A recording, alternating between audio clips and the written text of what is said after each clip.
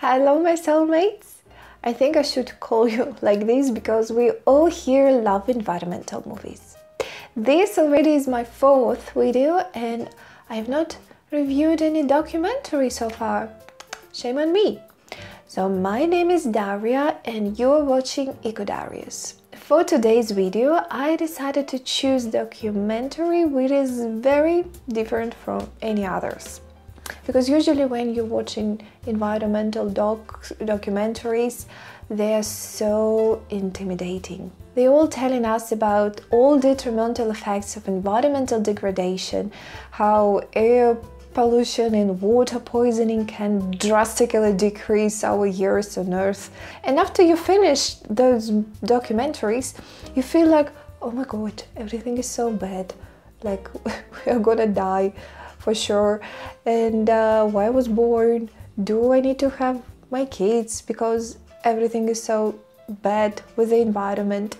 Like you know typical Monday thoughts.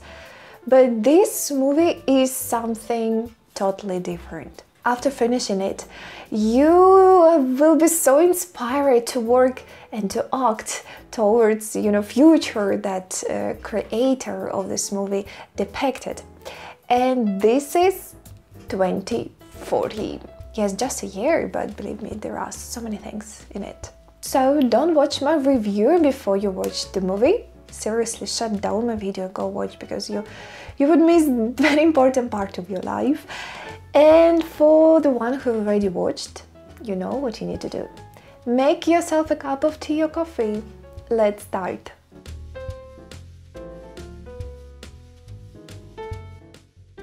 2040 is a 2019 Australian documentary directed by and starring Damon Gameau. He imagines what life could be for his four-year-old daughter 20 years from now if we could solve the climate crisis. Gameau travels around the world investigating numerous inventions already in place that can contribute towards climate mitigation so his daughter and other children featured in the film can live in a safer, cleaner and more equitable world. 2040 points to a practical, achievable path towards solutions, but its most important contribution is the sense that change is possible.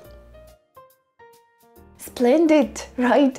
So the main idea of 2040 movie is inventions and approaches that could drastically improve our current environmental situation. Damon says that empowerment of girls and women education, um, regenerative farming, permacultures, uh, renewable energy, circular economy are the basis for sustained and harmonized coexistence between people and nature in 2040. At the beginning of the movie, creators let us know that all carbon emissions generated during the production of the film have been offset with certified carbon credits. What does it mean? In my Instagram blog, I made a post about it a long time ago. So please find me on Instagram, subscribe, there are many more information about this, but here an explanation. CO2 offset is a voluntary scheme containing offsetting your part of the emissions that your flights produce.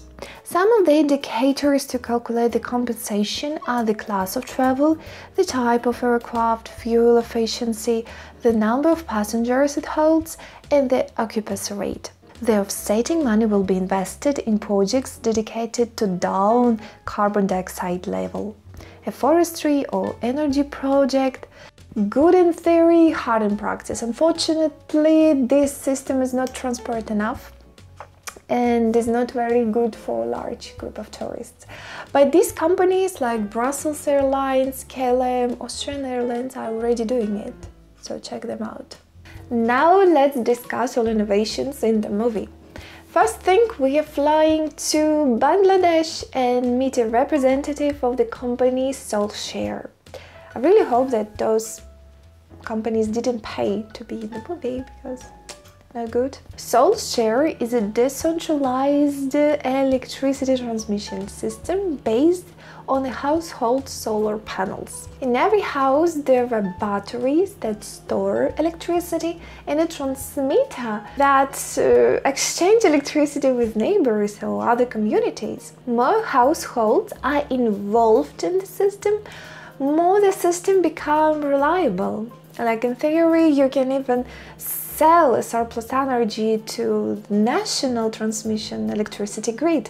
I'm not sure if government will be so happy to hear about it, but anyway, in the, in the theory it's possible. Also the good thing about this innovation is that all income stays within the community.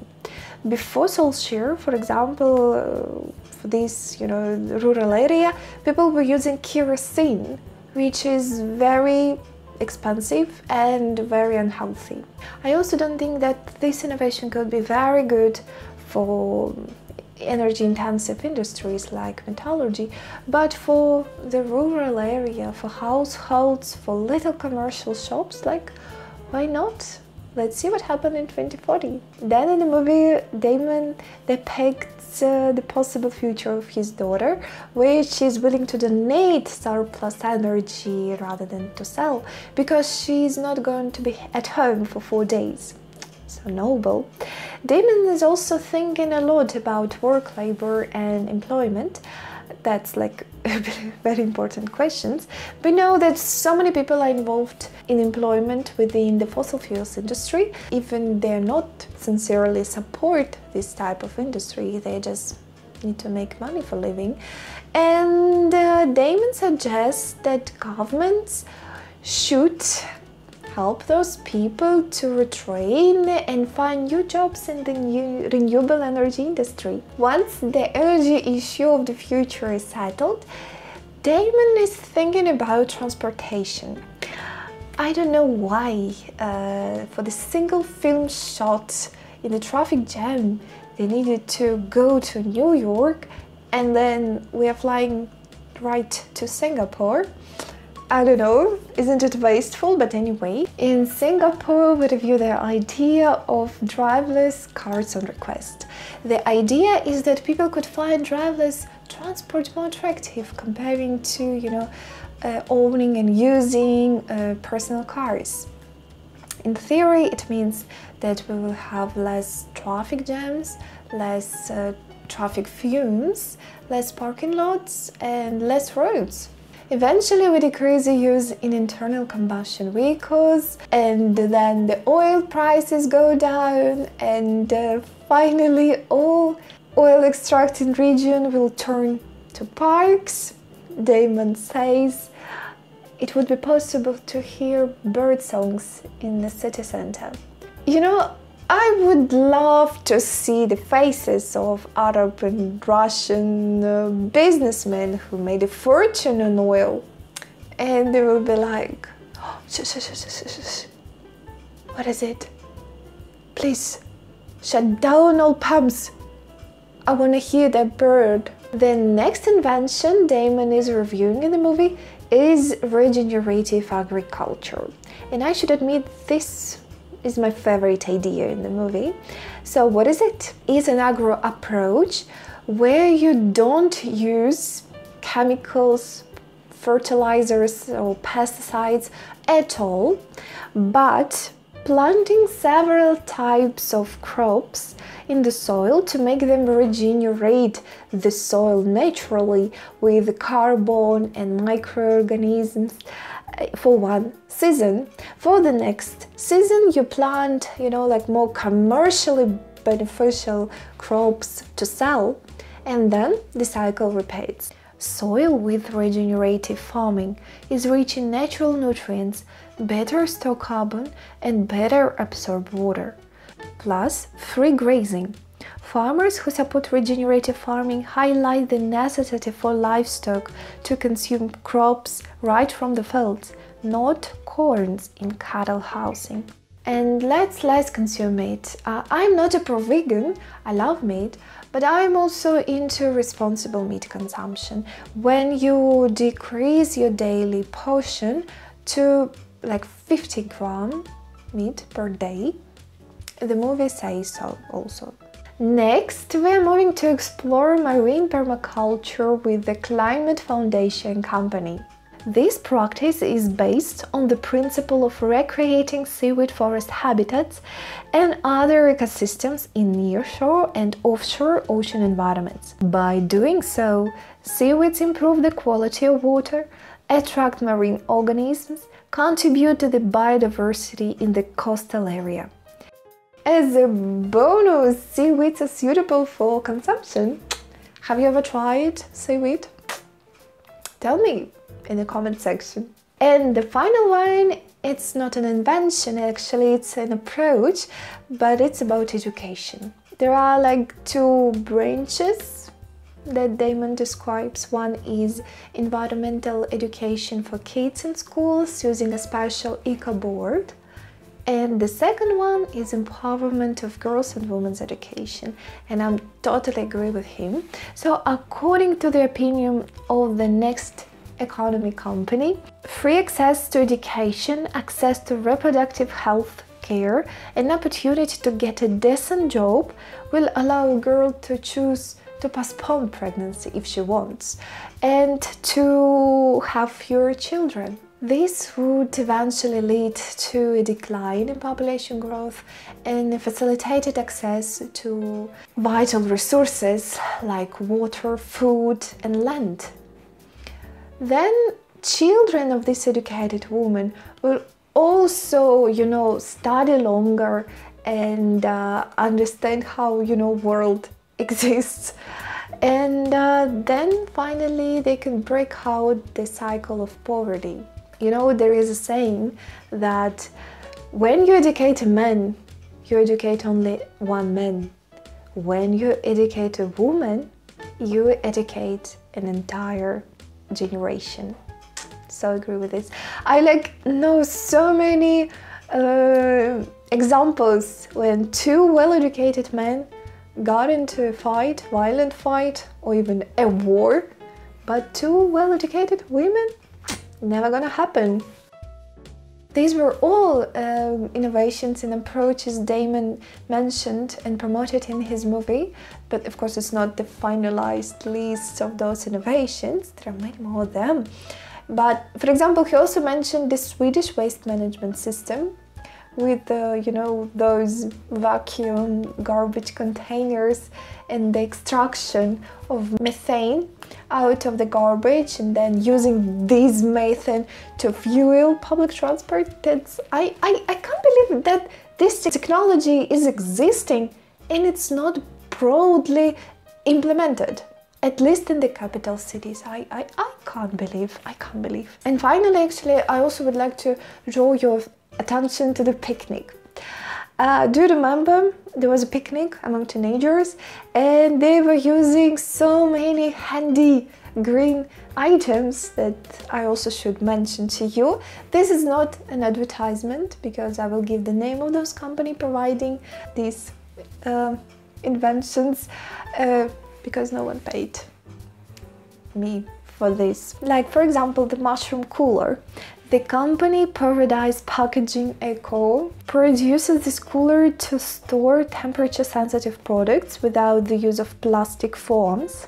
These boxes are made from Malden mycelium fungus and they are fully home compostable in soils. Then there are also bioplastic container uh, made from seaweeds. For example, the company Notpla is providing such packaging like sachet for ketchup, packaging for juices, water and alcohol, eatable packaging for sport events, takeaway boxes and many more. They're all recyclable and home compostable. Next, we see the Spider Silk sneakers. I think the companies like Adidas have already done it in 2016 probably.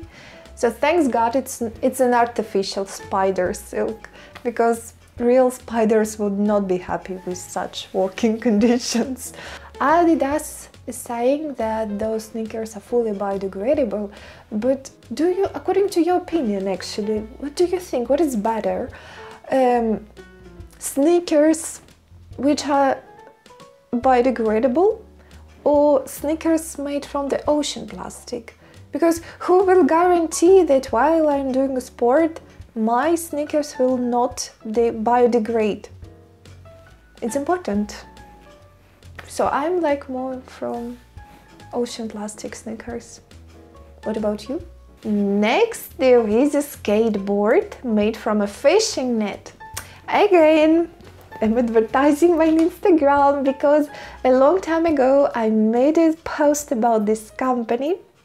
I loved it, you know, we're on the same page with Damon. Company called Plastix. Plastix transforms used, obsolete, and abandoned fishing nets, ropes, and post use rigid plastic that would previously have ended up in the ocean or in landfills by mechanically recycling them into the high quality raw plastic material. After sorting and fractioning, they shred, wash, separate, and dry the material. Lastly, the compound is extruded into new green plastic raw materials, also called pellets. After Plastix enables creative and innovative producers and designers to create sustainable and green products like cell phones, bikes, cream containers and skateboards and, and many many more others. Then there is a bearing.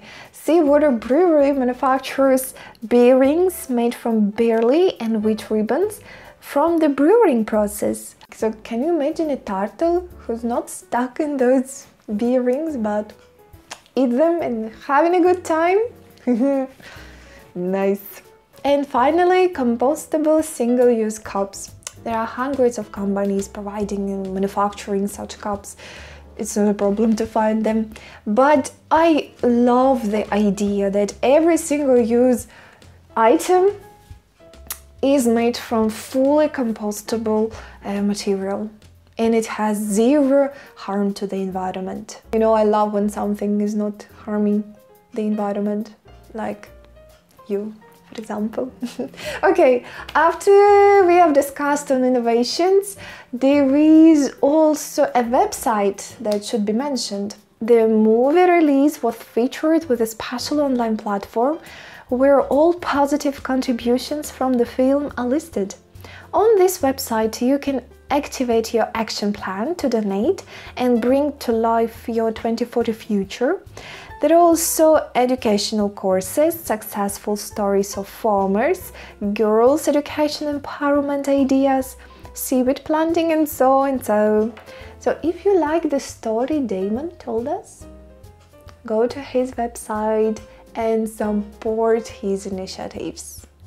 And let me share my opinion about this movie. I like the fact that Damon doesn't scold us. He is just passionately telling about existing solutions. I'm sure we need to be ready for our children scolding us. I'm not I will not be surprised, for example, when my child will come to me holding, you know, 2040 movie uh, on her laptop and, and asking, hey, look what future we could have if you acted in this direction. Why you didn't do it?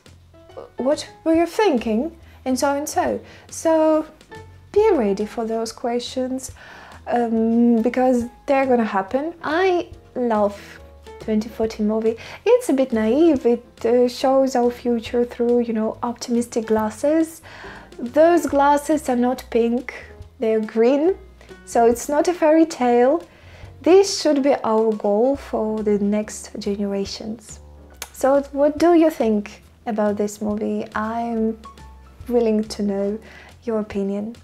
So that's all from me now. Thank you again to be on my channel and watching my video. Um, don't forget about your likes and subscription and see you next week. Пока-пока!